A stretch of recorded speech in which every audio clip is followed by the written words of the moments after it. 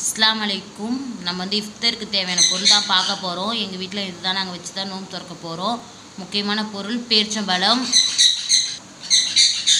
வெள்ளரி பழம் ஜூஸ் போட்டிருக்கோம் கூலிங்காக இருக்கணுன்றதுக்காக ஐஸ் க்யூப் போட்டு வச்சுருக்கோம். இது வந்து நன்னாரி சர்பத்து. சப்ஜா வேறு பிஸ்னி போட்டது. உடம்புக்கு குளிர்ச்சியாக இருக்கும்.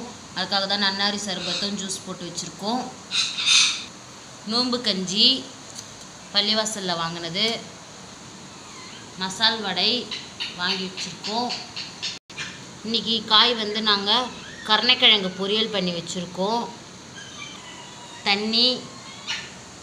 இன்றைக்கி எங்கள் வீட்டில் இதுதான்.